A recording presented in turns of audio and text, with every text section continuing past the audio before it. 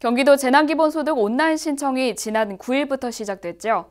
카드 승인 완료 문자를 받은 날부터 재난기본소득의 사용이 가능합니다. 하지만 수많은 사용처 중 어느 곳까지 허용이 되는지 헷갈리시는 분들 있으실 텐데요. 경기도 재난기본소득의 슬기로운 소비생활처를 지금 알려드립니다. 재난기본소득의 사용처는 기존 지역화폐 사용처와 같이 주민등록 주소지 시군에 있는 연매출 10억 원 이하의 업소로 대형 백화점, 대형마트, 기업형 슈퍼마켓, 유흥업종과 사행성 업소, 프랜차이즈 직영점에서는 사용할 수 없습니다. 이 기준만 충족한다면 사실상 일반 IC카드로 결제 가능한 모든 매장에서 사용할 수 있는 건데요.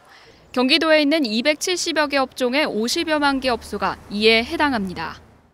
흔히 생각하는 일반 휴게 음식점이나 슈퍼마켓, 편의점 외에도 병원과 약국, 건강식품점과 같은 의료, 건강 관련 업종에서도 사용 가능하고 헬스장이나 스포츠용품점, 영화관이나 펜션 등의 문화, 레저, 여행 업종에서도 쓸 곳이 많습니다. 또한 학원과 서점, 문구점에서의 사용도 가능하고 가방이나 신발 등의 잡화 구매도 됩니다. 미용실과 안경점 등에서도 재난기본소득을 사용할 수 있으며 이 밖에 가구와 가전제품 업체, 조명이나 타일 등의 인테리어 업체에서의 사용도 가능합니다.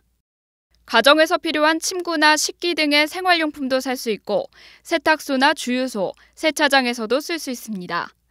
뿐만 아니라 중고차 판매업소와 부동산 중개 등의 용역 서비스 업종에서도 사용이 가능해 일상 생활에 필요한 대부분의 업종에서 걱정 없이 경기도 재난기본소득을 사용하시면 됩니다. 경기지TV 조희정입니다.